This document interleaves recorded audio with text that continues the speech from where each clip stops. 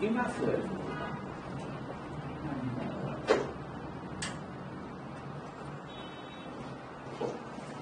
با سلام و عرض ادب خدمت اساتید و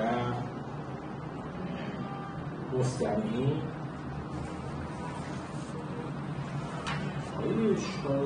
شاهدی فکر کنم اشتباه رو داشتیم تو برگاه من نذاشتم چرا باید بشه همین یکی بوده فقط؟ خب. خب خدمتتون ارز کنم نشست ام- امروز ما در راستای سلسله نشسته اخلاق در علم و فناوری با عنوان اخلاق سیاستگذاری علم فناوری و نو- نوآوری در خدمت جناب دکتر علستی و دکتر آرش موس- موسوی هستیم که هر دو بزرگوار از مرکز تحقیقات سیاست علمی کشور هستن. اعضای هیئت علمی مرکز تحقیقات سیاست علمی هستن.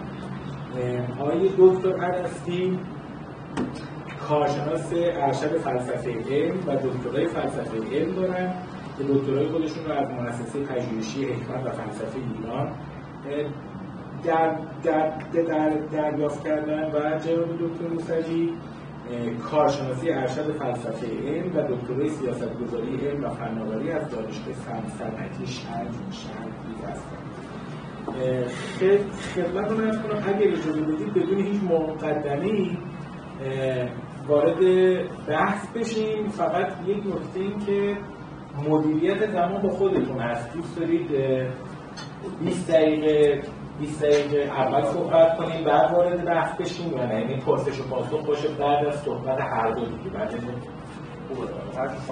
نه می‌خوام بگم اگه بعد شما مناسب تره یعنی هم پوشانه بحثتون رو دوست دارید که رعایت بشه می‌تونی پرسش و پاسخ رو بذاریم بعدش. خوبه؟ خب. پس اه، 25 دقیقه 25 دقیقه صحبتی می‌کنیم و بعدا میریم دور دوم که با پرسش و پاسخ. آیا دکتر علیسی آیا دکتر موسوی هر کدوم که در واقع تصمیم از. شما آیا دکتر با پاورپوینت هستید یا نه نه کار کنم. عرض کنم که خب خیلی ممنون از ایراندار که از جناب آقای اسلامی اه، به خاطر دعوتی که کردن و عرض کنم که ممنون از شما حضار محترم که وقت گذاشتید و بعد از اون رو با هم کنیم بحث من بحث اخلاق سیاست گذاری به طور عام هست. احتمالا آقای دکتر عرستی وارد بحث‌های علم و فناوری به طور خاص میشن تخصص ایشون هست. من بحثم بیشتر روی سیاست گذاری public policy به شکل عام هست. حالا توی هر حوزه‌ای. و نسبت این public policy با مباحث اخلاقی. اخلاق سیاست گذاری یک حوزه ای هست که می‌تونیم هم بگیم ذیل اخلاق کاربردی هست و هم می‌تونیم بگیم زیل اخلاق فناوری هست. اگر سیاست گذاری رو در واقع به شکل فناوری یه جور فناوری نرم بهش نگاه بکنیم می‌تونیم بگیم که اخلاق سیاست گذاری رو تحت اخلاق فناوری میشه آورد. حوزه حوزه جدیدیه. شاید مثلا اوایلش شاید از 50 سال پیش کم کم شروع شده. و شروع این حوزه تا الان که سپری شده بیشتر روی یک سری ترمهای پراکنده بوده. این ترمها رو من سعی می‌کنم اینجا معرفی بکنم به صورت خلاصه راجبشون صحبت بکنیم. و بعد روی پروژه‌ای که با آقای دکتر کار کردیم در درباره اینکه به این سوال پاسخ بدیم که این ترم‌های پراکنده رو چطوری میشه. یه مقدار بهشون نظم داد یه مبنای نظری براش فراهم بکنیم برای اینکه بتونیم به شکل منظم به شکل سیستماتیک در واقع روی اخلاق سیاست گذاری کار بکنیم. ترم ها رو ترم هایی که من معرفی می‌کنم زحمتش خودم نکشیدم. آقای تری کوپر کشیده در دو تا کتاب مهمش در مورد اخلاق سیاست گذاری عمدتا گزیده هایی از این کتاب و این به شکل هدفمند ترم ها رو استخراج کردیم. اینها رو خیلی کوتاه من اه، معرفی بکنم. پس بحث این است که در حوزه اخلاق سیاست گذاری عمدتا بحثا بول چه تمهایی هست. شش تا تم رو آقای تریکوپر مشخص می‌کنه. اولین تمش نسبت نظریه مردم سالارانه یا نظریه دموکراسی با فرایند سیاسی هست. اگر شما در واقع حوزه سیاسی بحث سیاسی politics رو دنبال بکنید از سی چهل سال به قبل متوجه میشید که یک خط روشنی بین بحث بین policy و politics برقرار در اون زمان ها. policy یا همون چیزی که ما ترجمه می‌کنیم سیاست گذاری به آدمایی گفته می‌شده که توی یه اتاق نشستن به شکل کار کار کارشناسی می‌کنن مثلا کاری به جریان های قدرت توی جامعه و جریان های دموکراتیک که به چه سمت سوی معمولا اونایی که کار پالیسی می‌کنن رو به شکل کارشناسانی نگاه می‌کنن که راه نشون میدن برای رسیدن به اهدافی که سیاست مداران تعیین می‌کنن. پس سیاست مداران اهداف رو مشخص می‌کنن ارزش ها رو مشخص می‌کنن سمت و سو رو مشخص می‌کنن. policy maker ها یا سیاست گذاران راه رو نشون میدن. حالا که این هدف هست چطوری بریم؟ هدف دست پیدا.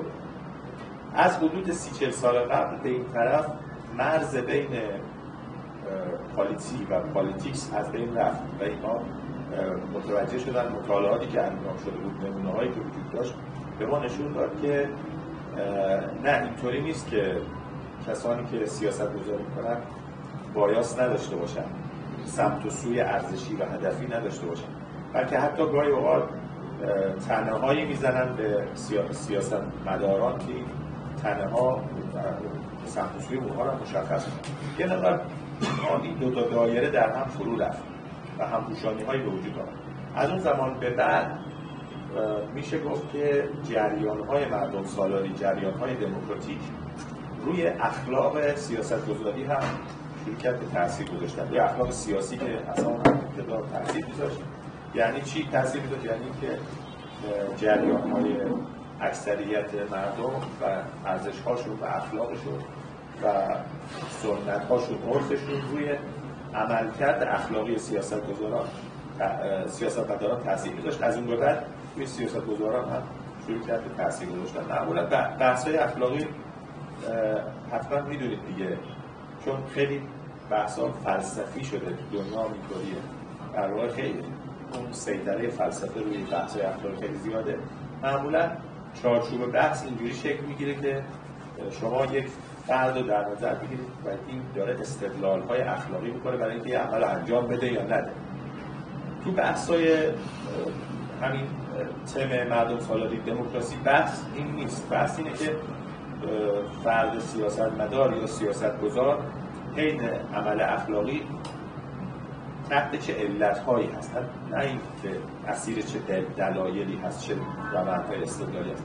اون علت ها همون جریان های مردم سالاری هست جریان های دموکراسی هست بنابراین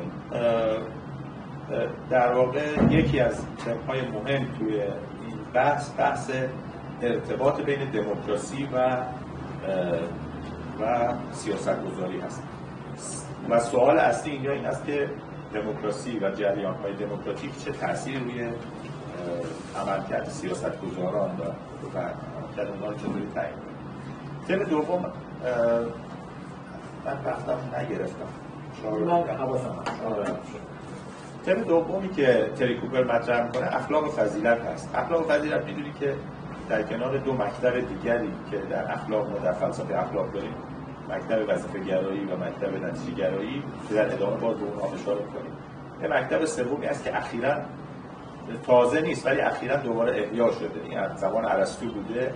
اخیرا شاید ده 20 سال 30 سال که دوباره مطرح شده. توی این تم بیشتر کسانی که این بحثا مقالاتی میسن کتاب میسن بیشتر دنبال اینن که کاراکترهای اخلاقمند کاراکترهایی که در واقع اینها فضا مجموع فضایل اخلاقی هستن این کاراکترها رو معرفی بکنن به عنوان در واقع کسانی که عملشون عمل اخلاقی هست. حالا به صورت اتوماتیک. می‌دونید دیگه در اخلاق و فضیلت بحث دیگه بر سر اصول اخلاقی که عمل ما مطابق اصول اخلاقی باشه یا عمل ما مطابق با در واقع نتیجه که در آینده قرار است حاصل بشه نیست. بحث ما این است که عمل اخلاقی عمل ارزشمند عملی است که فرد فضیلتمند داره انجام میده هر عملی رو انجام بده در واقع عمل اخلاقی. توی این ترم خب خیلی مطالعاتی انجام شده بیشتر مطالعات روی یه سری فضایل شخصی هست که در سیاست گذار باید داشته باشه. مثلا به عنوان مثال دوبل یه سری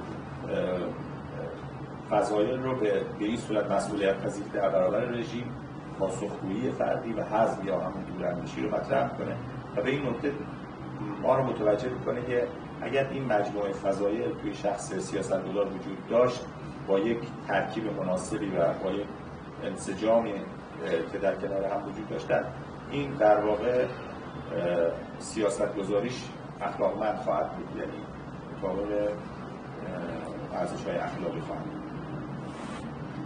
و حالا دیگه حالا از نمونه های دیگرش من عبور می‌کنم. توی این تم بنابراین دنبال این هستن که ببینن چه فضایلی در شخص سیاستگزار باید وجود داشته باشه با او عمل اخلاقی انجام تم سومی که کوپر مطرح کنه اخلاق در قوانین مخصوصا قوانین اساسی هست. اگر شما مثلا همین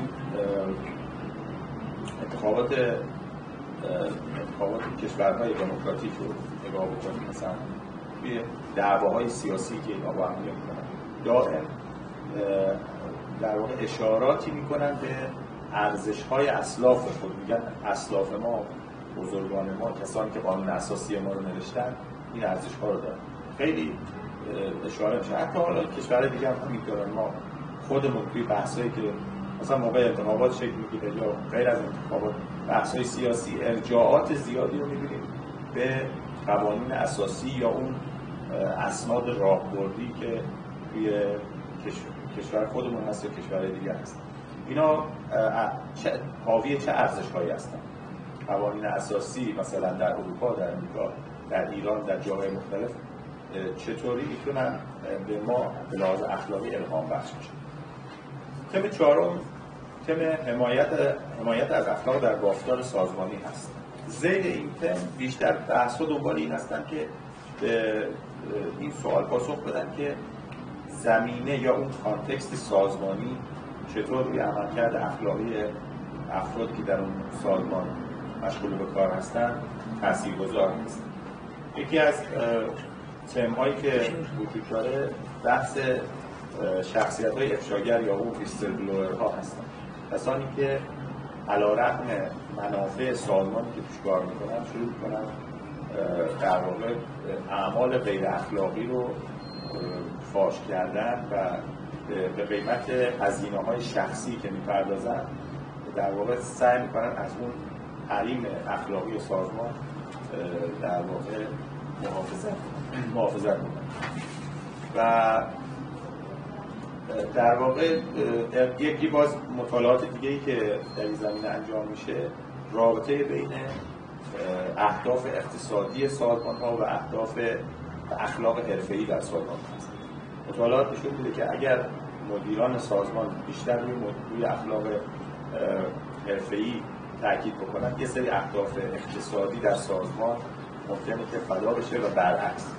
یعنی وقتی اهداف اهداف اقتصادی در سازمان ها بیشتر روش تاکید میشه. اهداف اخلاق حرفه‌ای در سازمان تضعیف میشه. و من سریع رد میشم.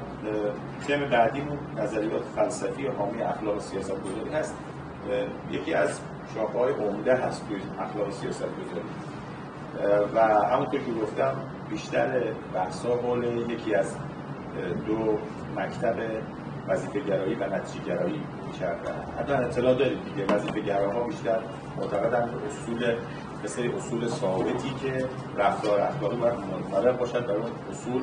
نتیجه گراها بیشتر دنبال اینن که بگن این عملی که ما داریم انجام میدیم نتیجهش در آینده چه خواهد بود؟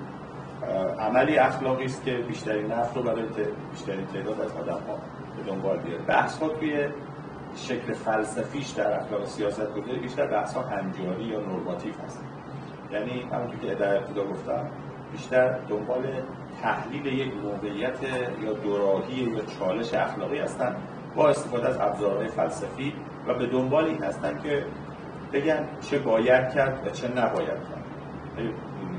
بحث بحث در واقع نورماتیو هست. بیشتر به شکل هنجاری بحث میشه. و نهایتا تم آخری که توی ادبیات اخلاق سیاست گذاری به قول آقای کوبر مطرح هست روی کرده شناختی به توسعه اخلاقی هست. روی کرده شناختی برعکس روی کرده فلسفی روی کرده توصیفی هستن. یعنی دنبال این هستن نیستن که بگن چه باید کرد سیاست گذار چه, چه باید بکنه چه نباید بکنه.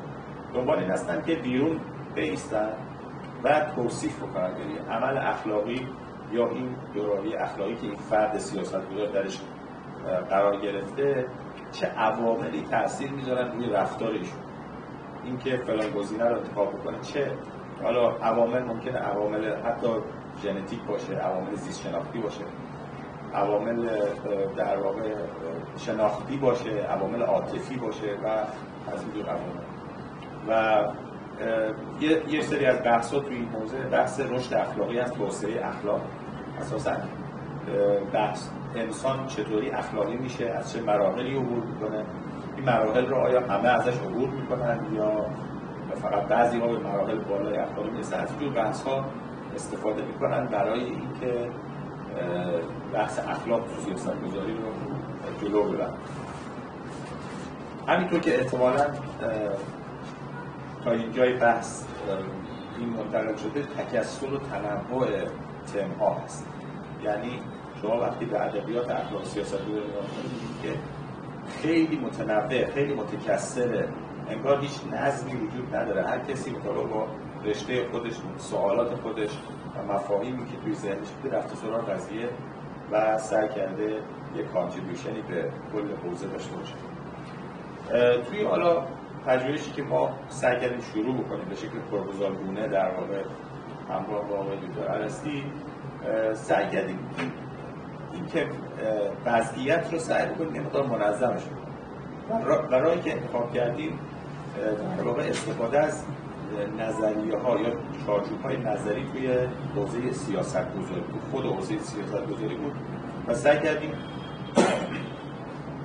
این نظریه ها رو مبنا قرار بدیم و در مبنای اون نظریه ها بیه بحث های اخلاقی رو یه مقدار سوالاتش رو منظم بود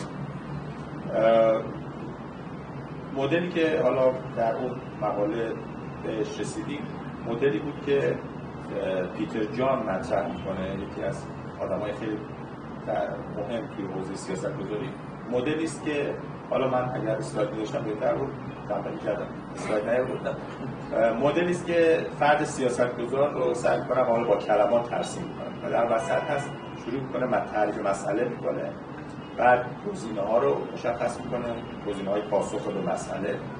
گزینه ها رو ارزیابی می‌کنه انتخاب می‌کنه یک گزینه رو اجرا می‌کنه و ارزیابی می‌کنه. یک دایره در واقع انتخاب عقلانی داریم اینجا. حالا این دایره از بیرون تحت تاثیر عواملی هست. مثلا عوامل لابی هایی که مثلا شبکه ها و گروه ها می‌کنن. تاثیر نهادها و قوانین تاثیر محدود کننده مثلا پارلمان یا قوانین اساسی یا قوانین عادی. و همینطور در واقع تاثیر ایدئولوژی ها همیشه فقط منافع نیست که توی سیاست ایدئولوژی ها تاثیر می‌ذارن و همینطور تاثیر ساختارهای اقتصادی ساختارهای اجتماعی. مثل اینکه مثلا ما یک کشور نفتی هستیم. این چه محدودیت هایی بار می‌کنه روی فرایند سیاست گذاری این مدل رو که دوست داشتم ببینیم حالا نشد. ما مبنا قرار دادیم برای اینکه یک ریفرش بکنیم سوالات حوزه اخلاق رو و این کار رو انجام دادیم. من فکر کنم وقتم تموم شده. اگر باز توی جزئیاتی که این چطور این مدل به ما کمک کرد برای اینکه اخلاق سیاست گذاری یه مقدار بهش نظر بدیم به مقبولاتش نظر بدیم من در خدمتتون هستم. خلاصه بحث این بوده که ما تقسیم کردیم مقولات اخلاقی رو به قبل از تصمیم گیری پرسش های اخلاقی قبل از تصمیم گیری پرسش های اخلاقی بعد از تصمیم گیری پرسش های اخلاقی منشأ گرفته سرچشمه گرفته از ساختارهای نهادی اقتصادی. یک سری هم پرسش های منشأ گرفته از بحث ایدئولوژی. ایدئولوژی و ایدئولوژی ها چطور روی عملکرد اخلاقی سیاست گذارا تاثیر گذار است؟ که توصیفی هستش همین. آن یا تجویزی هم می‌تونه در مراحل بعد تجویزی هم بشه. اون کارم انجام شده نه هنوز در همین حدی که من عرض کردم. حالا احتمالا اون رنگ علم و فناوریش رو آقای دکتر عرصی با بیشتر به ما گفت یا از منظر بحث خودشون نه می‌تونه هر دو باشن توصیفی باشن خیلی متشکرم. یه تشریف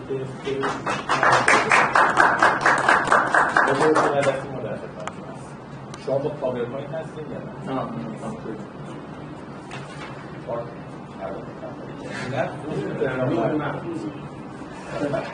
نه. خب سلام از می‌کنم خدمت همین عزیزان که داشت بودن من خیلی متشکرم از پژوهشگری علوم فناوری اطلاعات ایران و به خصوص آقای دکتر فرانکل اسلامی که این ترتیب این جلسه رو دادن. بحثی که من می‌خوام مطرح کنم حالا شاید در بحثی باشه که یه مقدار زیادی در خودم هست که یه مدتی بهش فکر می‌کنم. حالا موضوعی هم هستش که شاید تو این سالهای اخیر ادبیات زیادی رو داره به خودش اختصاص میده. یه مقداری حالا موضوعاتی هستش که شاید خیلی برای کسانی که اخلاق تکنولوژی بلد هستن بعضیش خیلی قدیمی بیاد اون ورژنی که من دارم میگم این مقدار شاید حتی سال انگارانه باشه. ولی بر ترتیب امیدوارم بتونم اون نکتهام رو توی این دقایقی که به من مهلت بدید به یه نحوی منظورم رو برسونم. دقیقه من بیشتر تو این صحبتی که می‌خوام بکنم که حالا همین مرتبط هستش با همین بحث اخلاق و سیاست گذاری و فناوری این هستش که اصولا چه چیزی اخلاقی عمل کردن یا سیاست گذار رو امکان پذیر می‌کنه؟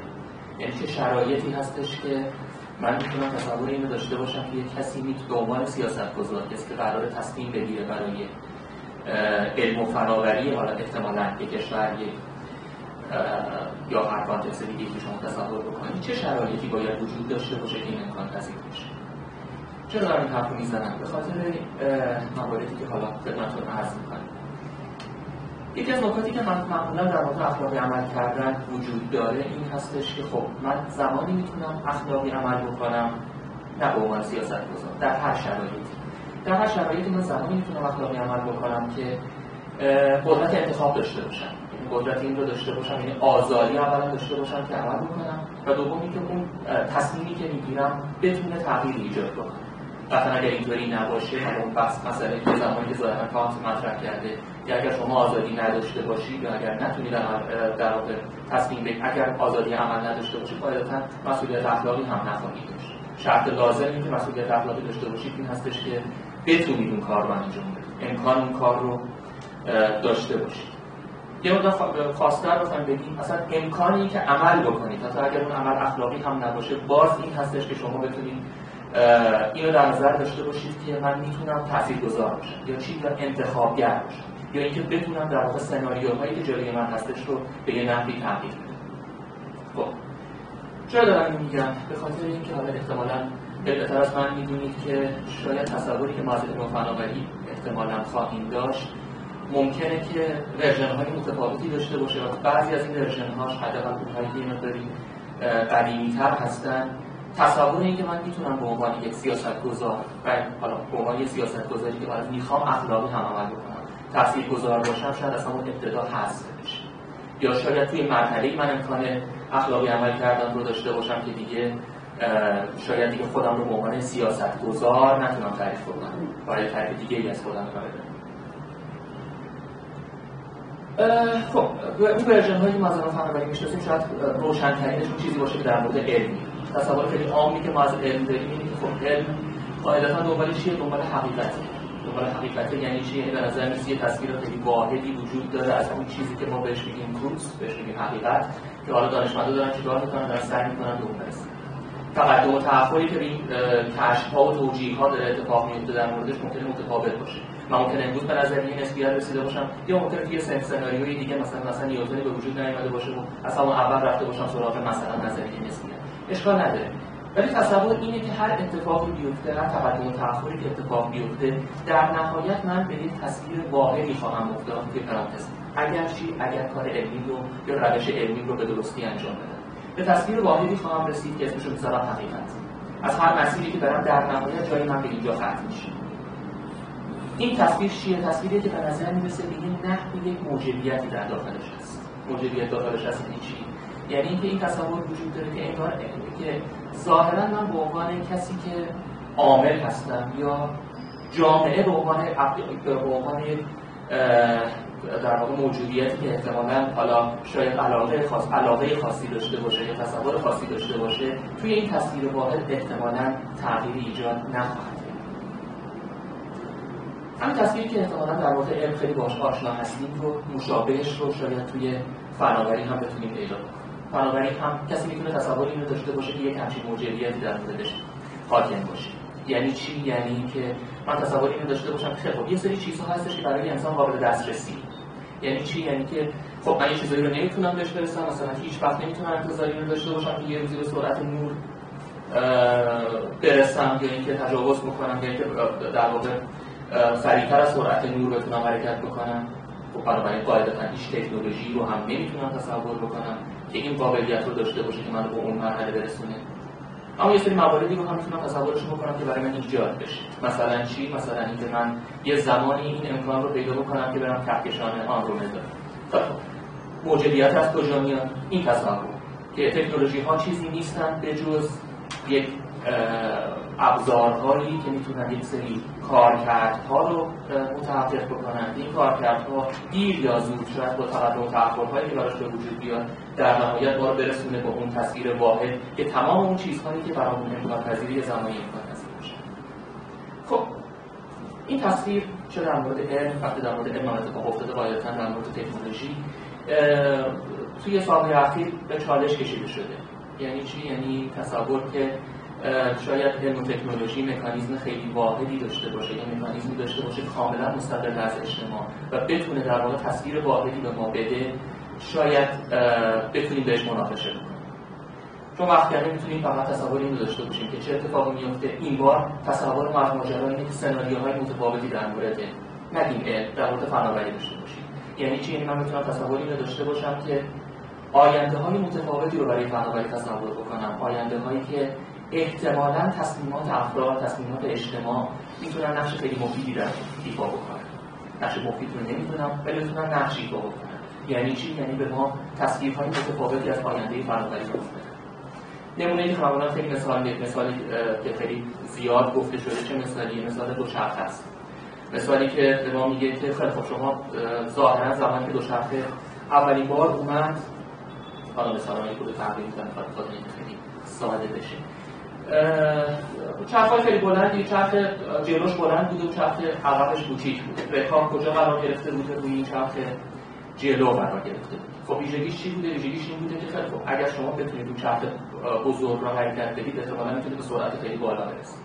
خب قاعدتا به درد کی می‌خوره؟ این کسانی که نیروی خیلی زیادی داشته باشن که اون رو به حرکت در بیارن. یک دوم کسانی که احتمالاً قاعدتا چیزایی نداشته باشن که درد سر براشون ایجاد به طور مشخص چه افرادی مثلا مردها مردها چه ویژگی دارن؟ نیروی این دو دارن که اون دو چرخه رو حرکت بده چه مشکلاتی رو ندارن؟ مثل زنای اون دوره مثلا دامنهای خیلی بزرگ فرقی ندارن که احتمالاً نشستن روی اون اذیتشون یا خیلی از مسائل دیگه که احتمالاً مانع این می‌شد که زنها از اون وسیله بخوان استفاده بکنن.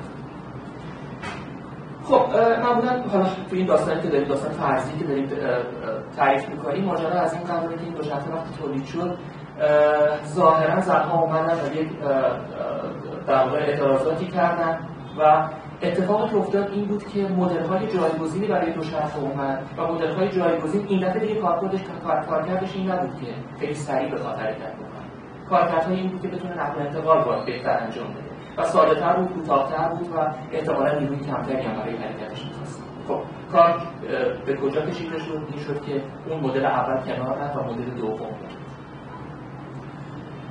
خب هزاران سوال احتمالا اینجا پیش خواهد اومد. اینکه خب چی شد؟ پس قاعدتا مدل اول چرا پنهان رفت؟ مثلا می‌تونست اون هم بیاد یعنی که مدل اول هم می‌تونست تثبیت بشه ولی مدل دوم هم بیاد سر کار.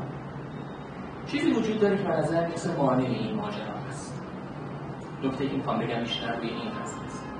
وقتی ما داریم در مورد های اجتماعی صحبت می‌کنیم وقتی داریم راجع به این صحبت می‌کنیم که احتمالا فرد، ایجنت ها، آدم ها کسانی که تصمیم می‌گیرن یا جامعه جامعه به عنوان اینکه ارزش های خاصی داره و می‌خواد اون ارزش ها در واقع تثبیت بشه به یه نحوی دخالت داره می‌کنه در شکلگیری فناوری.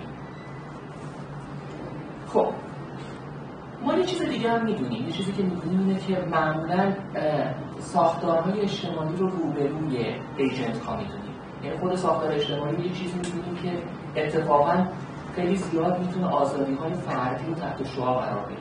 یعنی می‌تونه آزادی های فردی رو کم بکنه. خب این دوتا با هم تضاد ندارن. نه خیلی تضاد ندارن. یعنی چیزی که معمولا گفته میشه به نظر می‌رسه که اگر صحبت ساختارهای اجتماعی رو بخوایم بکنیم جایی وجود داره برای اینکه ایجنت ها بتونن مثالی که باز زده میشه چیزی شبیه این مثالی که شاید اگر مثال اصلیش رو نخواهیم بگیم مثالی رو بگیم که یه مقدار شبیه هستش به اون چیزی که توی فرهنگ ما هست. همه ما احتمالا در گذشته بازی رو داریم یا که روی کاغذ انجام می‌دادیم به نام نقطه بازی. اگه خاطرتون باشه نقطه ها رو میکشیدیم و بعد شروع می‌کردیم این نقطه ها رو هم وصل کردن و کاری می‌کردیم که حالا در نهایت هر کسی بتونه مربع های بیشتری بسازه پیروز میدان. یه چیزی که توی این بازی وجود داشت همچین چیزی بود. اینکه شما زمانی که شروع می‌کنید به بازی کردن شما زمانی که بازی رو شروع می‌کنید با هر فردی که دارید بازی می‌کنید به نظر می‌رسه که انتخاب های خیلی زیادی یعنی چی؟ یعنی تو ابتدای کار به عنوان کسی که می‌تونید در واقع بازی رو شروع بکنید می‌تونید خیلی جاها خطتون رو بگذارید. نفر مقابلتون هم هم به مرور که داستان جلو میره می‌بینید که این انتخاب کمتر کمتر میشه. شما در نهایت به نظر نیست که کمتر می‌تونید کاری رو انجام بدید. اصلا کمتر می‌تونید تصمیم گیری باشید. به نظر می‌رسه که انتخاب های شما محدودتر و محدودتر میشه. به نظر می‌رسه بعد از این مدتی دیگه اون خود بازی هستش که به شما میگه که خطتون رو کجا باید بگذارید. اگر شانس داشته باشید که بتونید خط بگذارید. مثالی که گفته میشه به خاطر اینه که چی؟ این رو روشن بکنه که نهادهای اجتماعی که ساخته میشن حتی دوره تکنولوژی که ما می‌خوایم فوکوس بکنیم روش هم شباهت زیادی به همین بازی داره. یعنی چی؟ یعنی زمانی که شما شروع می‌کنید به کار کردن زمانی که شروع می‌کنید یه نوآوری رو وارد بازار می‌کنید یک محصول جدیدی رو وارد می‌کنید یک پیشنهاد جدیدی رو می‌دید یا یک تغییری رو ایجاد می‌کنید به نظر می‌رسه شما به عنوان کنشگر انتخاب خیلی زیادی دارید از چه بابت؟ از این بابت که این نقطه ها هنوز پر این نقطه ها چیا هستن؟ این بار از جنس خط نقطه نیستن از جنس نهادهای اجتماعی نهادهای اقتصادی و نهادهای قدرت هستن که آروم آروم اطراف پیشنهادی که شما می‌دید و احتمالا اون پیشنهادی که پذیرفته میشه شکل می‌گیره. دوچرخه خیلی بزرگی که میگید هم توی سناریویی که می‌تونید تصورش بکنید دوچرخه خیلی چرخ بلندی که شما دارید پیشنهاد می‌دید اگر وارد بازار بشه و اگر پذیرفته بشه بعد از یه مدتی تجارت های به دور خودش ایجاد می‌کنه. دور خودش ایجاد می‌کنه؟ باعث میشه که یک کسانی روی این سرمایه گذاری یک کسانی سودشون و منافعشون بیاد مثلا.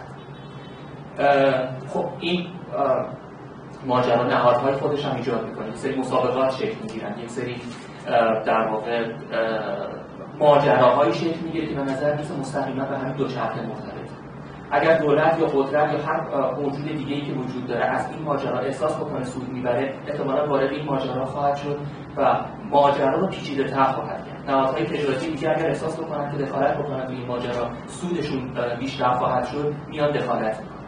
شبکه‌ای شکل خواهد گرفت خیلی پیچیده و خیلی صلب خیلی شبیه چی؟ خیلی شبیه اون بازی نقطه بازی که ما تصورشون کردیم که این بار به نظر می‌رسه شما حالا این بار خودتون رو به عنوان یک سیاستگزار به نظر بگیرید. به عنوان یک سیاستگزار شاید خیلی انتخاب های کمتری داشته باشید برای اینکه بتونید دخالت کنید اگر بعد از گذشتن این ماجراها و بعد از شکلی این نهادها به این نتیجه برسید که شاید باید چیزی رو تغییر می‌دادید آیا باید باید مثلا چه می‌دونم به زنها بیشتر اهمیت می‌دادید به معلولین بیشتر باید اهمیت می‌دادید یک سری از اقشاری که فراموش کرده بودید بیشتر اهمیت می‌دادید این بار دیگه شما نمی‌تونید کاری انجام بدید. شاید بتونید انجام بدید ولی نتیجه چه خواهد شد؟ نتیجهش هزینه خیلی زیادی خواهد بود برای شما. درگیر شدن با قدرت ها درگیر شدن با نهادهای تجاری درگیر شدن با نهادهای اجتماعی درگیر شدن با ارزش هایی که احتمالا الان شکل گرفتن یا تقویت شدن. توی پرانتز بگم تقویت شدن یعنی چی؟ یعنی اینکه احتمالا زمانی که شما انتخاب کردید که دوچرخه به این شکل بسازید و وارد بازار بکنید چه بخواید چه نخواید بخشی از ارزش های اون فرد تصمیم وارد این دوچرخه این محصولی که الان روبرتون می‌بینید شده. این دوچرخه شکل گرفته با ارزش هایی که کمتر به زنها اهمیت میده. این دوچرخه شکل گرفته با ارزش هایی که کمتر به مثلا افراد دیگه می‌داده به سیاه ها می‌داده به کسانی که حقوق کمتری توی اجتماع داشتن یا دیده نمی‌شدن می‌داده. نهایتا چه اتفاقی افتاده؟ این ارزش ها مادی شدن شکل گرفتن به یه نحوی سولد شدن.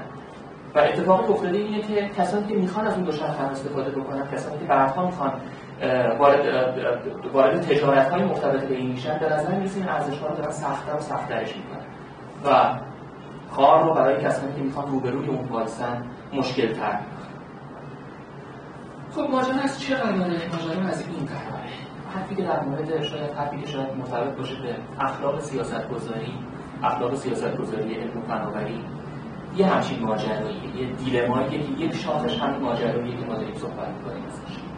یک شاخش چیه؟ این که اگر شما دیر بجنبید یا اگر بگذارید اون محصولی که وارد شده اون نوآوری که شما عرضه می‌کنید وارد بازار بشه شکل بگیره نهادها رو ببره شکل بگیرن دیگه شما قدرت عمل ندارید.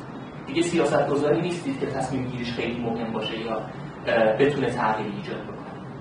اگر هم قرار باشه که واقعا اینقدر شما اصرار داشته باشید که تغییر ایجاد بکنید در اون شرایط به نظر مثل به این راحتی نخواهد هزینه خیلی زیادی رو باید بدید. آدم های خیلی زیادی باید دوره برای شما بیان و قدرت خیلی بزرگی باید پیدا بکنید که بتونه به جنگ این ماجرا لزومی نداره راجع دو شرط صحبت بکنید خیلی نمونه های شکل گرفته شو که امروز هی مناقشه می‌کنن در موردش رو می‌تونیم ببینیم. یکی از مثالایی که به ذهن من می‌رسه بحث کنکوره. انتقادهای خیلی زیاد شاید به علم و فناوری به سختی بتونیم یا بتونیم با واسطه ارتباطش بریم. ولی نمونه خیلی خوبی از این ماجرا هستش شما اگر امروز اعتراضی داشته باشید به شرایط کنکور و بخواید تغییرش بدید امروز دیگه خود راحت نیست. یا اگر قرار باشه تغییر بدیم نیاز به چیه نیاز به نیروی خیلی زیادی برای شما نیاز نیاز به هزینه خیلی زیادی هست. نیاز به آسیب رسوندن به افراد خیلی زیادی هست. آسیب رسوندن فقط به قدرت نیست. اتفاقا به کسانی هستن که این وسط شروع کردن برنامه‌ریزی کردن پدر مادرهایی که سعی کردن روی این ماجرا حساب بکنن در واقع برنامه برسن برای خودشون یا فرزندشون یا کسان دیگه. به نظر میاد اگر بخوایم مشکلاتش رو برطرف بکنیم هزینه خیلی زیادی هم برای قدرتمندها هم برای طبقه زینف, زینف دیگه باشه برای کار از کار گذشته. خب. نکته که تو اخلاق سیاست گذاری احتمالا مرتبطه چیه؟ اینه که شما اگر بخواید موثر باشید باید اون زمان اون ابتدا یعنی زمانی که هنوز کار به اینجاها کشیده نشده تصمیم بگیرید و تصمیم اخلاقی بگیرید. برای اینکه تصمیم اخلاقی چی هستش هم باید مقداری شده تصمیم یعنی چی؟ یعنی پیش از اینکه ماجرا به این حد پیچیده بشه شما باید شرایطی رو ایجاد بکنید. ترکیب این شرایطی رو ایجاد بکنید. اون تصمیم از جنسی باشه که احتمالاً بهش میگن تصمیم اخلاقی یعنی چی؟ یعنی تصمیم اخلاقی حالا چی هستش؟ تصمیم از جنس مواردی که آقای دکتر موسوی فکر می‌کنن اشاره اولشون به این بود. یعنی دموکراتیک کردن ماجرا شما در واقع کنترل فناوری رو شاید هر جایی بتونید انجام بدید. اگر فرایند از سیاست گذاری تا سیاست گذاری منظورم این که از زمانی که بودجه میریزید برای یک ماجرا از زمانی که یک سری علوم خاص میان وسط یک سری اتفاقات خاصی انجام میشه خلاقیت های اتفاق میفته اون خلاقیت ها انتخاب میشن بعد وارد بازار میشن. این فرایند طولانی رو اگر بخواید در نظر بگیرید به نظر میاد که پیشنهاد اینه که شما همون ابتدا باید یا در طی این فرایند هستش که باید به اخلاقی بودن تصمیماتتون فکر کنید. اگر کار از کار بگذره شاید دیگه عوض کردنش سخت باشه. مشکل کار کجاست؟ گفتیم دیلماست یعنی یه طرف قضیه به نظر می‌رسه که هنوز مشکل داره. این راه حل نیست. چرا راه حل نیست؟ چون ابتدای کار هنوز اطلاعاتی نداریم در مورد اینکه چه اتفاقی ممکنه بیفته. واقعا ما خیلی شاید اون ابتدا ندونیم که زمانی که فناوری خاص ما توی جامعه شیوع پیدا کرد توضیح پیدا کرد چه اتفاقی ممکنه بیفته؟ چه کسانی ممکنه ضرر ببینن چه کسانی ممکنه که صدمه ببینن چه کسانی ممکنه سود ببرن ممکن اون ابتدا اونقدر اطلاعات وجود نداشته باشه و واقعا وجود نداره. این اطلاعات خیلی سخت می‌تونید به دست بیارید بنابراین این دو شاخ کار سیاستمداری سیاستگذاری رو که می‌خواد اخلاقی عمل بکنه تا حد زیادی مشکل کنه. پیشنهاد چیه؟ پیشنهاد اینه که اگر شما به دموکراتیک کردن علم فناوری فکر می‌کنید باید در تمام مراحلش اگر این فرایند اگر سیاست گذاری رو به عنوان یک فرایند دارید تصور می‌کنید اگر معامله رو به عنوان یک فرایندی که آره از یک شروعی داره محصول انتهاش هستش دارید تصور می‌کنید در کل این فرایند باید چیزی از جنس دموکراسی وجود داشته باشه. دموکراسی یعنی چی؟ یعنی اینکه من به نحوی کاری انجام بدم که افرادی که قرار روزی صدمه ببینند یا روزی سود ببرند یا روزی از این تصمیم به نحوی آثارش رو بپذیرند رو از همون ابتدا از همون زمانی که دارید کار رو شروع می‌کنید در همون ابتدای فرایند دخالتشون بدید.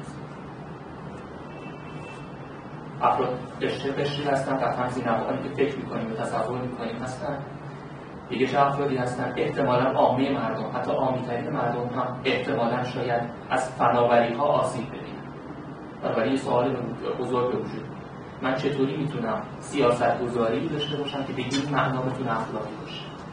یعنی بتونم همه افرادی که یک زمانی می‌تونن زینف باشن که این ماجرا رو دخالت بدن و کاری بکنم که تا حد امکان سوگیری ها در مورد اون تصمیمی که دارم می‌گیرم کم بشه.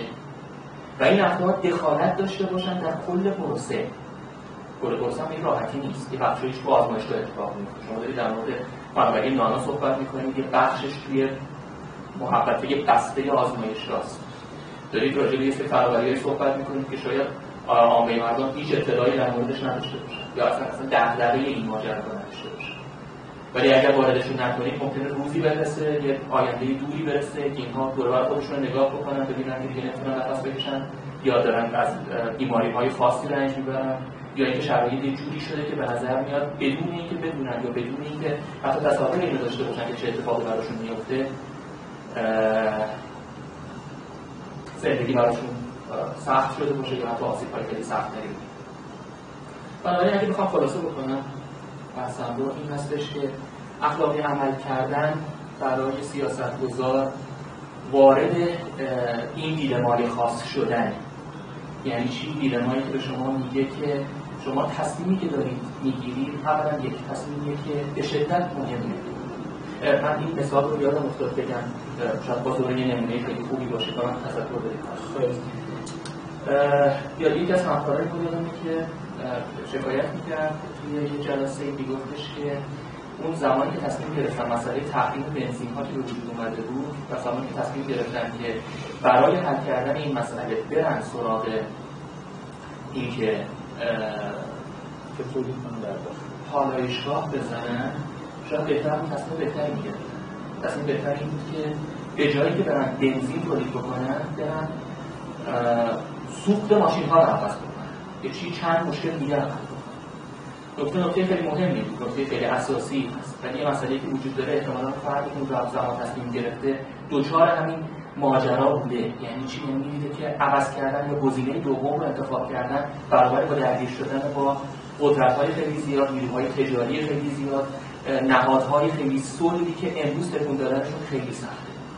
شما وقتی با کسانی درگیر بشید که حتی تصورش خیلی سخته که بخواید یه روزی بهشون بگید که ما تجارت شما رو می‌خوایم چیکار بکنیم؟ تحت شعار قرار یا می‌خوایم یک چیز جایگزینی براش ایجاد کنیم. بنابراین راه ساده تر راهی که اتفاقا تکسور می‌خوره اون هم اینه که به این فکر بکنید به این که یه پالایشگاه بزنید راهی که شاید به نظر برسه در ابتدا نظر برسه که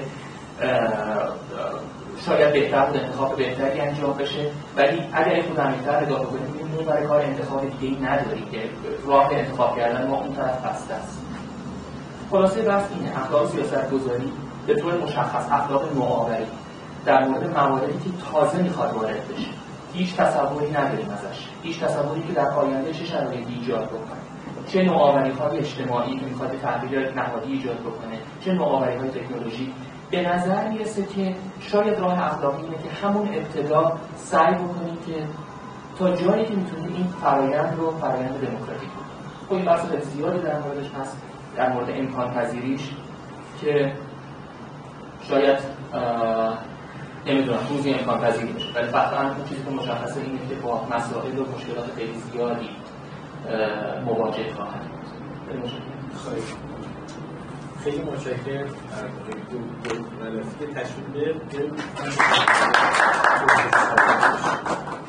خب اگه اجازه بدید باز همیشه من خودم اولین پرسش رو مطرح کنم.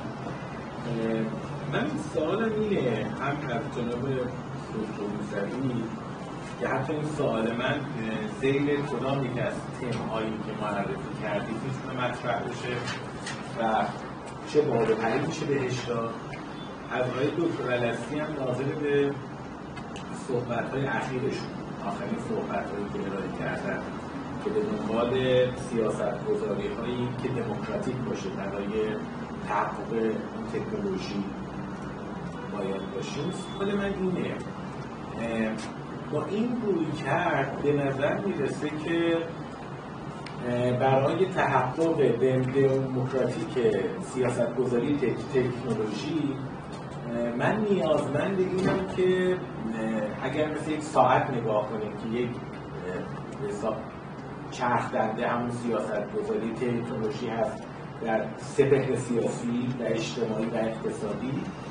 به نظر می‌رسه که باید سایر نهادها بتونن که دموکراتیک باشن چه اقتصادی چه سیاسی چه اجتماعی. چون که من نمی‌تونم این چرخ دنده رو بدون نرم بودن اونها بچرخونم. اونها اگر صلح باشن اصلا میشکنه این چرخ من سوالم اینه که آیا برای یک جامعه مثل ایران به طور خاص یا جوامعی مثل ایران حتی می‌تونم این رو بگم. حتی می‌تونیم در مورد مثلا چین هم ما صحبت بود یک کیسیه که لزوما تمام چرخدنده هاش دموکراتیک نیست اما علل ظاهر تا حدودی شاید. برای خودم هم سواله دوست دارم اظهار نظر بشه. علل ظاهر تونسته شاید که یه خورده این چرخدنده های تحقق دموکراتیک سیاست گذاری تک تکنولوژیش رو بهش کمک کنه. دوست دارم که به این پاسخ بدیم در کنار چرخدنده های صلب دیگه این چرخدنده رو به چه صورت میشه که چرخ؟ خیلی ممنون. از کنم که اون سهم من از این قضیه این است که خب این زید همین تم اول هست. من معرفی کردم. ارتباط بین جریان های مردم سالانه و عملکرد سیاست گذار تا نکته که می‌خوام اضافه بکنم که درست سیاست گذار یا سیاست مدار هر دوشون نگاه می‌کنم ببینم جریان های دموکراتیک چه فشارهایی رو به اونها بار می‌کنن و بر مبنای فشارها یه مقدار اخلاقی تر میشه فشارهای دموکراتیک تنها نیروی اثرگذار نیست. یعنی ما خب خیلی خوندیم دیگه راجع مثلا شرق آسیا ها ممکنه خیلی دموکراتیک نباشن یا توی برده های از تاریخ دموکراتیک نبودن ولی اخلاقی عمل می‌کردن. خیلی هم با صفر و سخت در به شدید اخلاقی عمل با استانداردهای غرب وقتی به نگاه کنیم که مثلا آدم تعجب کنیم چرا چرا قد اخلاقی عمل بنابراین آره فشارهای دموکراتیک خیلی کمک می‌کنه به به اصطلاح اخلاقی عمل کردن سیاست گذار و این جزء همون تم اولی است که لیست کردیم. ولی باید به نیروهای دیگر هم بها داد. به نیروهای فرهنگی باید بها داد.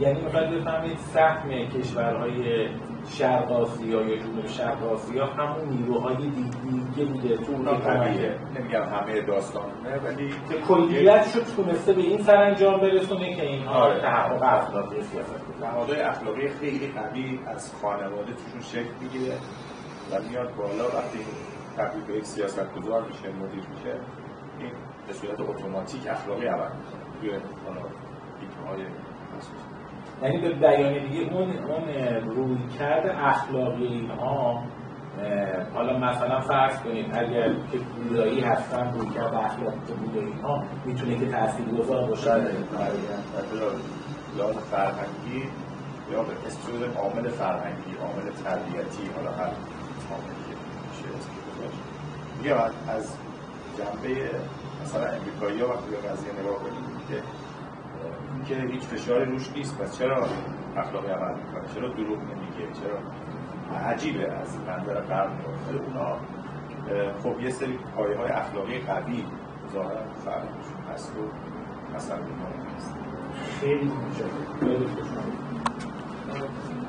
والا نمی‌دونم خیلی سوال سختیه واقعا. آره.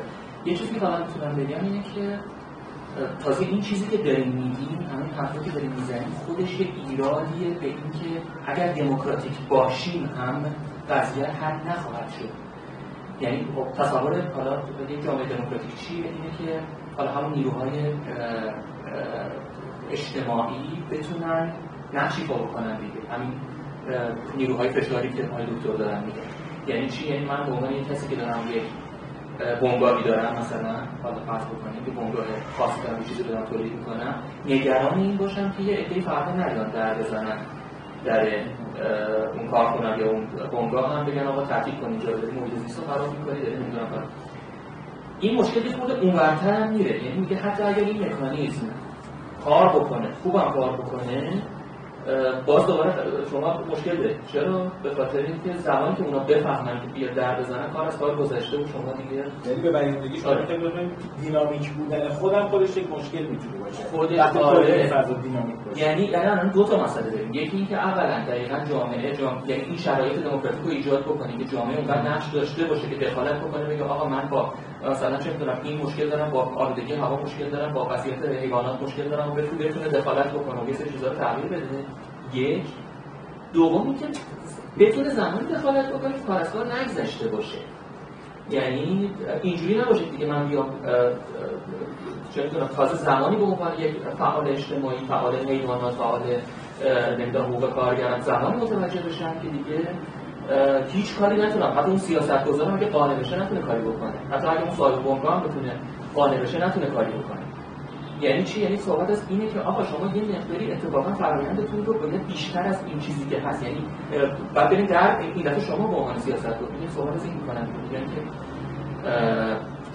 یه زمانی ما یک چیز داشتیم. تقسیم کار اخلاقی داشتیم. تقسیم کار اخلاقی اون چی بود؟ این بود که ما یه جامعه داریم و متخصصان علوم اجتماعی علوم انسانی طرف دیگه چی داریم؟ کسانی که به توسعه علاقه مندن مهندسا علوم طبیعی و این ماجرا تقسیم کار اخلاقی چی؟ اینا به توسعه فکر می‌کردن اینا کنترل می‌کردن. به نظر میاد که خب خیلی هم وضعیت خوبه دیگه. یه جامعه دموکراتیک می‌تونه این دوتا رو داشته باشه. یه جایی به توافق می‌رسن یه جایی به یه جایی می‌رسن که خب هم به نفع محیط زیست و جامعه است هم به نفع کسی که به توسعه علاقه داره حالا بحث اینه بحث اینه که نه این مکانیزم کار نمی‌کنه. این تقسیم اخلاقی رو باید به هم بزنیم. اینجا همین زمانیه که باید به این فکر بکنیم که کسی که احتمالاً اهل می‌خواد رو انجام بده قبل از اینکه بخواد کارش انجام بده اتفاقا بره جامعه رو از خواب بیدار بکنه بگه من این کار انجام بدم. همه این حرفایی که داریم می‌زنیم چیه؟ واسه اینکه دچار یه سری مشکلات خیلی عدیده که در آینده به وجود خواهد اومد نشویم. آره؟ یعنی چی؟ یعنی مکانیزم دموکراتیک قبلی هم کارساز نیست یه قدم بریم جلوتر. حالا شما میگید توی جامعه ما چطوری اتفاق میفته؟ من نمی‌دونم. خیلی باید کار بکنیم دیگه این سال اون مسئولیت پذیری رو شما با این فرایند دموکراتیک که هدفتون این نیستش که توضیح کنید در بین مردم. یعنی به بیان دیگه اون طبقاتی که می‌تونید مقتبل باشید که شاید تردید بیاد رو برای اینکه مسئولیت خودتون رو بتونید که محدود کنید مسئولیتی رو که توضیحی هست رو به جامعه بسید نه مسئولیت اگه منظورتون از مسئولیت خود توسعه دهنده کم میشه. نه تا تحت هیچ عنوان کم نخواهد شد. اینجا یه مقداری می‌دونید با چی داره مخالفت میشه؟ یه مقداری به نظر یه مکانیزم بازار آزاد هستش که یک کمی شاید به شک ایجاد بشه. مسئولیت از عهده هیچ کسی سرد نخواهد شد. مثلا اینکه من به همون اندازه مسئولم و یکی یه مسئولیت دیگه که اتفاقا به گردن من هستش اینه که جامعه رو خبردار بکنم که آقا مثلا فناوری نانو یعنی چی؟ یعنی چی؟ میگه بخشش برمیگرده به ترویج. من مسئولیت این دارم که یه کاری بکنم که افرادی که تو جامعه هستن بفهمن چه اتفاقی داره این مسئولیت قاعدتا من شاید به عنوان بنگاهدار نتونم بکنم. بنابراین مسئولیت رو باید بذارم به چی به عنوان یک شاید دولت. شاید یه کسانی که مداخله گر هستن. خیلی ترسناک این حرفایی که دارم می‌زنم. خیلی ترسناکه. ولی نمی‌دونم چه, چه چیزی می‌تونه جایگزینش بشه. یعنی یک یک سیستمی فراتر از احتمالا بازار آزاد سیستم کنترل کنن دست پنهان آدم اسمیت باید بیاد وسط و کمک بکنه که این اتفاق بیفته. من قبل از که شروع بکنم به کار کردن من در خونه ندرت بزنم بگم آقا می‌دونی نانو چیه؟ مثلا یا چه چیزی خیلی متشکر با اجازهتون اگر سوالی بعد به میکروفون هست بله.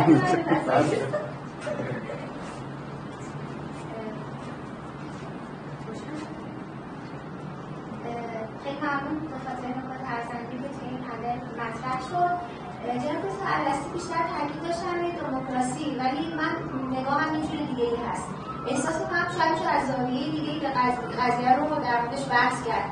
در مورد رویکردهای سیاست گذاری امروز تو فضای سیاست گذاری علم و فناوری یه سری ابزارهایی در واقع معرفی شده که مهمترین function ی که دارن ایجاد حقانیت و مشروعیت در تصمیمات هست. و فکر کنم اون وجه اخلاقی که مد نظر شما رو پوشش بده.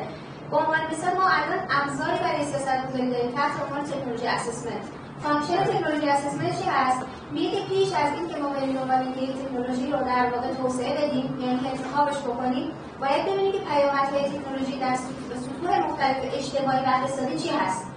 پیامدها رو بسنجیم در سطح جامعه در سطح اقتصاد و بعد بر اساس این پیامدها تصمیم بگیریم که آیا ما اون تکنولوژی رو توسعه بدیم یا خیر. به این ترتیب اگر بر اساس این مکانیزم سیاستگذاری پیش بره یک تصمیم می‌گیره که مشروع است. نکته مهمی که تو این ابزارها وجود داره اینه که ابزارها معمولا روش شناسیشون گونه که سعی کنه اجماع همگانی ایجاد کنه. یعنی اون بحث دموکراسی هم در واقع توی نکات عرض شما بود پوشش میده. یعنی سعی می‌کنه که شیوه این نظرسنجی یا به دست بردن پیامدها حالت مشارکتی داشته باشه. مجموعه از امور مردم متخصصان رو درگیر کنه تا این پیامدها بتونه بسنجه. پس این ابزارها کمک می‌کنه که اون دموکراسی هم اتفاق بیفته. حالا مثلا technology assessment یک مورد بود.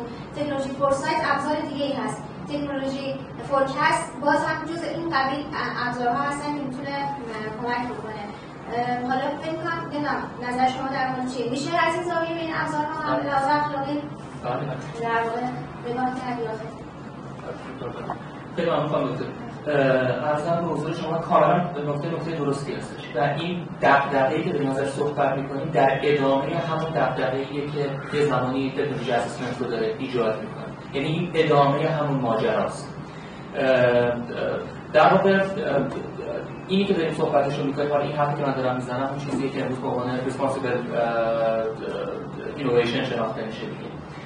این دقیقا ادامه همون ماجراست. یعنی حالا یابی که میشه صحبت از این می‌کنن که ما یه زمانی دقدقه اینو داشتیم که ابزار تکنولوژی اسسمنت رو استفاده بکنیم. و این به نظر میاد که سیر منطقیش داره می‌رسه به حالا چه چیزی تحلیل کرده؟ اینکه یه زمانی احساس کردیم که شاید اون ابزار فنی که technology assessment رو ما می‌داد کفایت نکنه و حالا مجبوریم بریم از اخلاق مهندسی هم یه چیزی مثل responsibility رو بیاریم بذاریم کنارش. و دقیقا همونه. یعنی اصلا ماهیتا همونه که شما فرمودید خب می‌دونید همین خب technology assessment ظاهرا اونجوری که حالا من فقط یک مقداری شنیدم شاخه های متفاوته. یکی از شاخه هاش که که یکی از فلاسفه هم خیلی علاقه من هستش بهش به نام آری ریپ هستش constructive technology assessment هستش. که اینها کارشون چیه؟ اتفاقا حالا بحثش دقیقا هم نکته که شما میفرمایید این هستش که اتفاقا دقیقا همین. یعنی اینکه من توی تمام مراحل باید دخالت چیزی داشته باشم دخالت مردمی رو داشته باشم. حالا ماجرا از چقدر به نظر حالا من اصلاح بکنم تا که می‌تونم یه زمانی صحبت از این شد که ما راجع به پشتار زودهنگ هم صحبت بکنیم. فانکشنشون عملکرد پیش دستانه است. آره. پیش از که تا انجام بشه این ارزیابی اتفاق بیفته. بعد در واقع اون دیلمایی هم که شاید اتفاق نیفته. خب هم dilemma مشکل قضیه اینه که ما اطلاعات نداریم. حالا اطلاعات نداریم چیکار بکنیم؟ بیایم engagement رو بیشتر بکنیم. بعد صحبت از upstream engagement شد. یعنی چی؟ یعنی همون جایی که داریم صحبت می‌کنیم تا اون بالای رودخونه بریم مردم رو دخالت بدیم بعد که یه مقداری به نظر میاد تصور ما در مورد اون مس... در واقع فرایند سیاست گذاری عوض شد اون نگاه خطی گذاشته کنار گذاشته شد. تصور این پیش اومد که خیلی ما می‌تونیم در واقع حالا اون اصطلاحی باز خودشون دارن به کار می‌برن میدستریم ماژولیشن انجام بدیم. یعنی چی؟ یعنی حالا بیایم وسط رودخانه. و یه سری تغییرات بدیم. نه اینکه چیز بکنیم. وسط رودخانه کجاست؟ جایی که اتفاقا آرندیا دارن اتفاق میفتن یعنی یعنی یه سری دانشمندن دارن توی جای سربسته دارن کار کاملا تکنیکال دارن انجام میدن. صحبت همین در در همین افرادی که شما میفرمایید یعنی کسانی که تکنولوژی اسسمنت علاقه‌مندن اینه که خب حالا چجوری ما می‌تونیم توی, انتخابایی که احتمالاً یک دانشمند توی آزمایشگاه مثلا نانو داره انجام میده بتونیم دخالت بکنیم. دخالت از چه جنسی؟ یعنی اصلاح انجام بدیم دخالت از چه جنسی؟ یه کاری بکنیم که یه سری مفاهیم تزریق بشه به یک کسی که تمام عمرش فقط به نانو فکر کرده. کسی که تمام عمرش به نانو فکر کرده شاید خیلی به مسئله مثلا حقوق زنان فکر نکنه. آره؟ ناخودآگاه ممکنه یه تصمیمی بگیره تو همون کارش 100 درصد تکنیکالش. که چی بشه که مثلا در نهایت در آینده یه اتفاقاتی بیفته. بعد صحبت از این خب خیلی بامزه است. مثلا میگن چی؟ میگن که پروژه هایی بگذاریم که دانشمندان علوم اجتماعی همینجوری راه پیدا بکنن داخل این چیز. دخالت نکنن و نه این کارشون خراب بکنن بیان مثلا جلوی خودشون بندازن جلوی کاری که دانشمند داره انجام میده. ولی یه کاری بکنن از جنس علوم اجتماعی که به نظر میاد این مفاهیم بهتر بتونه منتقل بشه. در نهایت اگر قرار تصمیم گرفته بشه تصمیم همگامتر باشه با نگرش اخلاقی. بنابراین حالا من اگه بخوام بگم من تایید صحبت شماست. یعنی این همونه که شما میفرمایید یعنی چیزی نیست به جز سیر تاریخی همون ماجرای تکنولوژی مثلا کوچیک لابیگری یکی از امور اصلی سیاست گذاری اگه بخوایم به بحث اخلاقی توجه کنیم نقد می‌کنه بحث مثلا لابیگری و مذاکره امور اصلی هر فرآیند سیاست گذاری هست یا مثلا اخلاقیات نقد کننده این که می‌تونن هم جمع بشن اگه لابیگری درست فهمیده باشم یعنی منظور این که کسانی که قدرت بیشتری احتمالاً دارن می‌تونن اثرگذارتر بنابراین باز هم باید یعنی اینا همینجاست که آروم آروم نظریات اخلاقی میاد وسط خودشون رو نشون میدن. مثلا صحبت از این می‌کنن خب حالا ما مذاکره‌ای که می‌خوایم بکنیم تو هر بخشی تو هر بخشی که داریم فرآیندی که داریم تصور می‌کنیم مذاکره‌ای که داره اتفاق میفته باید از جنس خاصی باشه. یا مثلا به چی متوسل میشن؟ به هابرماس متوسل میشن یه زمانی تفکیکی رو گذاشت بین understanding و بین influence من مذاکرم می‌تونه از جنس influence باشه یعنی می‌تونم انقدر آدم قدرتمندی باشم که طرف رو تحت تاثیر قرار بدم. آره. یا می‌تونم انقدر آدم چیزی باشم آدم تو استدلال آدم قوی باشم که بدون که طرف مقابل بفهمه یه جوری یه کاری بکنم که اون باورهای خودش رو بذاره کنار. بنابراین این خودش باز یه مناقشه است. راه حل هنوز شاید خیلی راحت شسته رفته ای که کسی که فنی کار دوست داره داشته باشه شاید براش نباشه. ولی محل مناقشه اینه که مذاکره‌ای که شما دارید انجام می‌دید باید مذاکره‌ای باشه که اتفاقا این reduction به معنای حذف کردن نگاه های آلترناتیو اتفاق نیفته. مذاکره باید از جنسی اتفاق بیفته که اتفاقا به درد همه. یعنی یه جوری شاید اون گفتمان اخلاقی هابرماسی رو ایجاد بکنه. یه همچین چیزی رو. و, و این می‌دونید حالا شاید تنها چیزی که بشه بشه به ما بده اینه که چقدر پیچیده است این ماجرا. چقدر کار سختیه. برای چی؟ برای اینکه یه زمانی خیالمون راحت بشه. حالا برای اونایی که دارن فکر می‌کنن راجبش که دیگه مثلا مسائل گلوبال رو دیگه باش مواجه نخواهیم. که تونستیم حلش بکنیم. یا دردسرا رو بیشتر از اینی که هستش نکنیم. ما احتمالا در ورژن کوچیک‌ترش نمی‌دونم به کجا باید فکر بکنیم. مثلا این که به ذهن بعدی مثلا بحث اولویت گذاری تو سیاستگذاری موضوع خیلی مهمه. مثلا دنیا داره ترند تکنولوژیش به این سمت خب کشور هم باید قطعا تبعیت کنه بعد ممکن ملاحظات اخلاقیش بیاد که مثلا با کانتکست فرهنگی ما جور در نمیاد خود مثلا مسائلی خیلی پیشگیری یه همچین پیشگیری‌هایی خیلی کار سخت‌تر می‌کنه من من خیلی متشکرم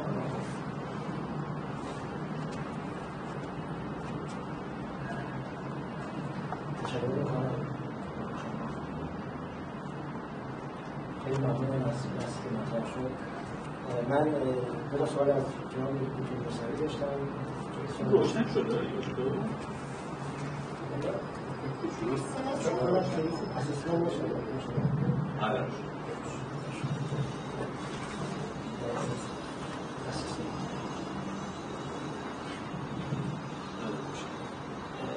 شما در مورد چرخه سیاست صحبت کردید و اینکه چجوری این تما رو ما اپلای کنیم تو اون چرخه حقیقت این نظام به ما بده از اون تما متکثری که وجود داره. سوال من اینه که اون موردی که شما در قبل مطرح کردید آیا از یکی از این تما پشتیبانی می‌کنه یا همه اون تما با این مدل چرخه سیاست که فرمودید انتباه پیدا می‌کنه. چون به نظر من می‌زنه در گفت که این مدل چرخه‌ای و همه اینا سازگاره. شما مثلا تو قسمت ارزیابیش می‌تونید مثلا به آرای مردم رجوع کنید ارزیابی یک سیاست یا بسپارید به یک گروه مخرجانی که مثلا فضیلتمند هستن و تصمیم بگیم در موردش. یعنی من احساس با همه این تما این مدل سازگاره. بس سوال بعدی اینه که آیا این مدل به طور یکسان در مورد سیاست گذاری ملی و فراملی عمل می‌کنه یا یا شاید بتونیم برای این دو مدل های متفاوتی در واقع ارائه کنیم. مثلا مثلا برگزیت به عنوان یک سیاست گذاری ملی مثلا تابع خاصی از یک مدل هست ولی مثلا توافق پاریس که یک سیاست فراملی هست شاید تابع مدل دیگه باشه. مثلا اگه تو سیاست گذاری اول دموکراسی و رجوع به آرای مردم روی کارا باشه تو سیاست گذاری دوم که فراملی هست. شاید اون روی خیلی به در نخواد آیا در این زمینه بحث به این زمینه کشیده از جان دکتر عوضی هم می‌خواستم بپرسم که آیا کل بحث اخلاق سیاسی شما خودش نظریه اخلاقی پیشفرض می‌گیره؟ یک فرضیه اخلاقی یا نظریه اخلاقی خاصی رو پیشفرض می‌گیره یا نه؟ بلکه فرمودید که باید در ابتدای در واقع تحول تکنولوژی چون دایما اون دایما کالیبرات هست که آره که تکنولوژی در وهله اول نرم هست ولی بعدا صلح میشه ولی مثلا اینکه ما در وهله اول خیلی کم اطلاعات داریم. اطلاعات نداریم و موضوع مثلا اخلاقی بعدا خودش نشون میده حالا سوال من اینه که حالا وقتی اطلاعات نیست حالا درگیر کردن مردم چه به چه اخلاقی کار سیاست کجا میده؟ آیا مثلا اینکه مردم تصمیم بگیرن که مثلا این سیاست گذاری خوبه اون اخلاقی می‌کنه؟ نظر اون مسئله مور هست اوپن کوشن اشکال مور در اینجا باز در برای هستیم ما می‌تونیم بپرسیم. وقتی به آرای عمومی هم رجوع کرد باز می‌تونیم بپرسیم که حالا که مردم هم تصمیم کردن باز باید اخلاقی هست نه. مثلا اگه یک سیاست گذاری به شکل سیستماتیک مثلا حقوق یک سری افرادیت نقض کنه اکثر مردم هم بگن اخلاقیه. آیا این سیاست اخلاقی می‌کنه یا نمی‌کنه خیلی مهمه که اینجا بدونیم که آیا کل بحث‌های شما مبتنی بر چه نظری اخلاقی از طرف هست؟ یه مثلا بزنم از تاریخ تکنولوژی. ببین ببینید در اوایل قرن بیستم سیمان نسوس توسط مهندس اتریشی معرفی شد و خیلی استفاده ازش شد. به عنوان سیمانی که در برابر آتش و گرما خیلی خوب مقاومت می‌کنه بعدا فهمیدم که این سیمان اصلا سرطانزاست مشکلات زیادی ایجاد می‌کنه. حالا در برای اول اگه حتی رجوع می‌کردم به آرای عمومی احتمال آرای عمومی گفت استفاده کنید خیلی هم خوبه. اینجا رجوع به آرای عمومی چه بچه اخلاقی ایجاد می‌کنه؟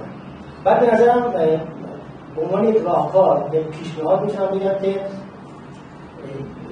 یک راهکار که میشه اینجا اتخاذ کرد این که قبل اینکه بذاریم اصلا یک تکنولوژی یا یک سیاست سیاست گذاری تکنولوژی صلح بشه به شکل مکرر ریوایز بشه. این این تو روش شناسی مثلا علم طراحی هست تو خود چرخ هم هست. یعنی این چرخ هست دیگه. شما نباید بذارید یک ارزیابی اولیه انجام بشه بعد بره تا آخر تا صلح صلح بشه. نه با فیدبک های مت... مکرر این سیاست گذاری باید ریوایز بشه تا اجازه ندیم که به شکل صلح و قوام تغییر خیلی از کنم که حالا قبل از که به سوال خود شما برسیم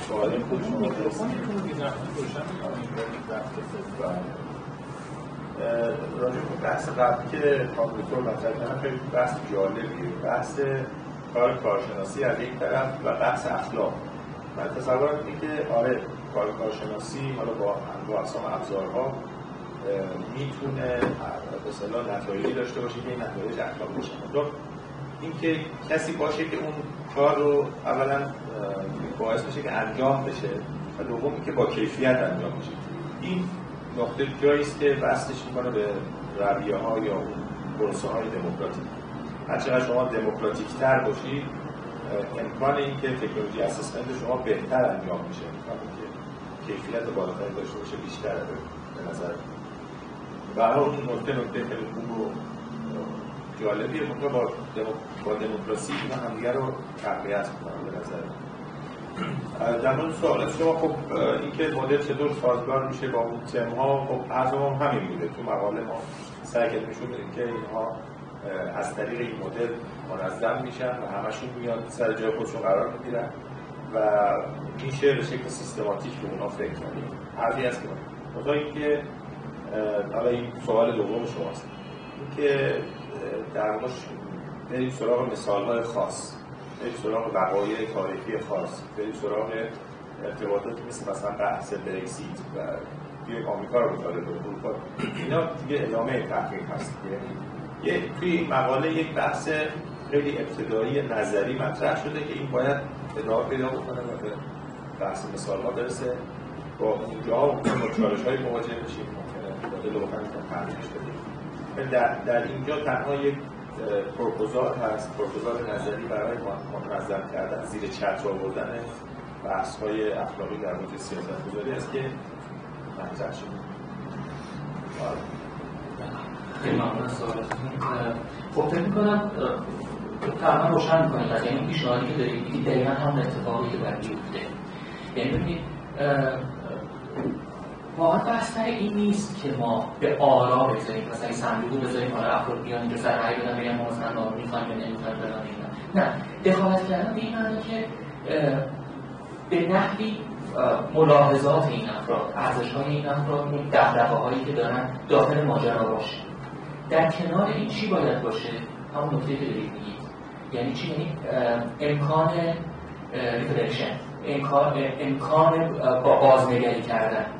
یعنی flexi بودن اون سیستم حالا هر چی که هست.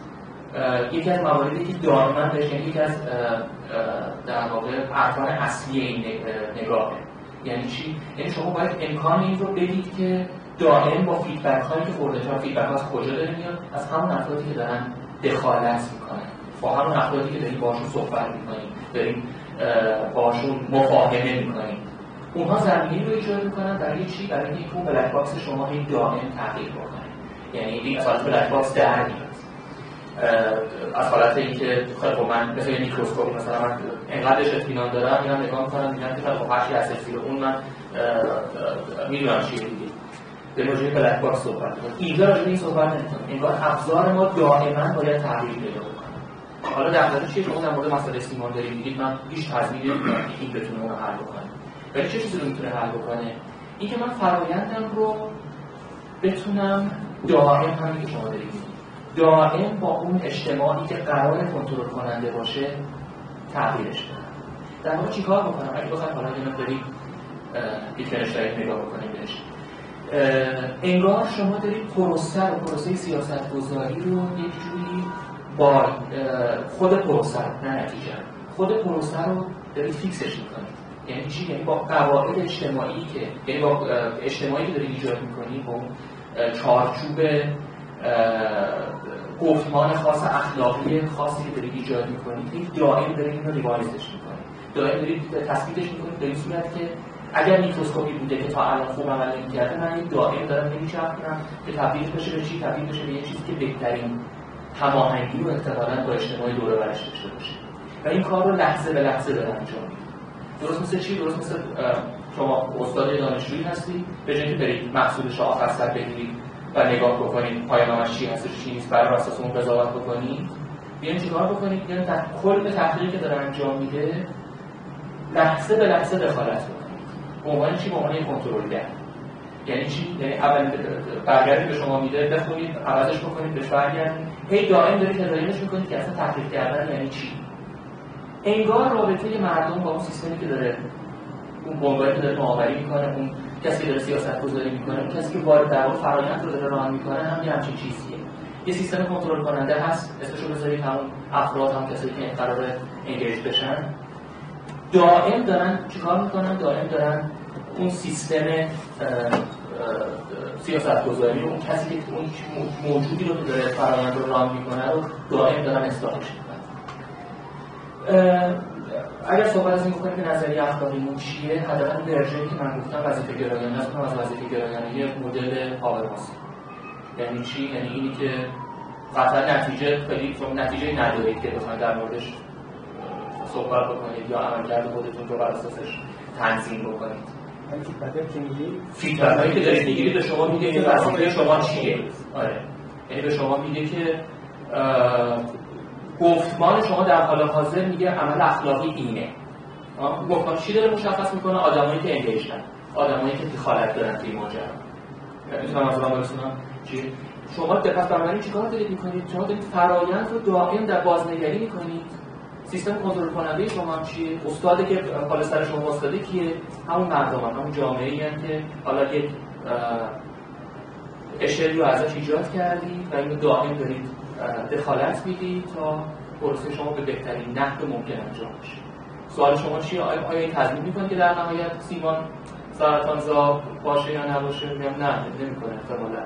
ولی می‌تونم بگم که احتمالا بهترین عملی بوده که تونستید انجام بدید. از منظر اون نگاه بهترین عملی بوده که می‌تونستید انجام بدید.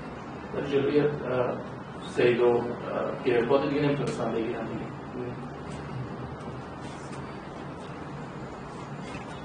سوال هست من این سوال داشتم در مورد اینکه وقتی سیاست گذاری اخلاقی باشه یعنی اون تصمیماتی که سیاست گذاران می‌گیرن یه فرایند رو تعریف کنی این فرایند سیاست یه فرایند اخلاقی هستش اخلاق اینجا فرایند هم می‌تونه شاملش باشه که از سیاست گذاران فرایند اخلاقی هم. من باید تعریف اخلاقی هم من موسی جواب سیاست گذاری فرایند یک پروسس که گفتم مدل های مختلفی در موردش وجود داره یکی از مشهور تریناش هم مدل تلفیقی آقای پیتر جان هست گفتیم مسئله مشخصه مسئله رو میز مشخص می‌کنیم گزینه هایی که داریم برای رسیدن به اون مسئله بعد ارزیابی انتها اجرا ارزیابی میچرده اونطوری تنها نیست. فشارهایی از بیرون به این هسته کارشناسی اسم هسته کارشناسی. بر اساس کار کارشناسی دارن سیاست گذارن فشارهایی از بیرون وارد میشه و اونا رو گفتیم چه فشارهایی هست.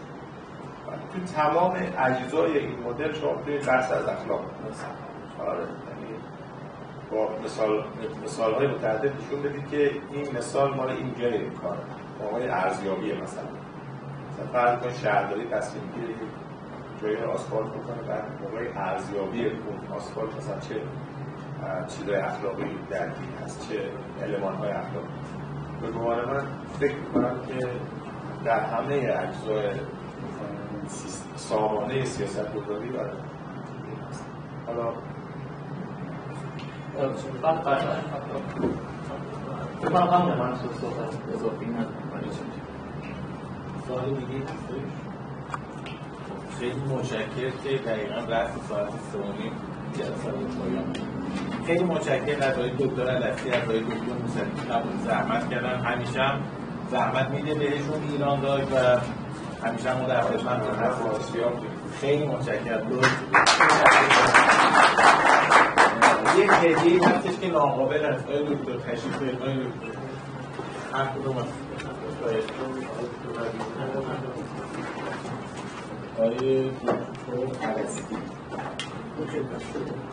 دست دادن ممنون ولی ما مجبور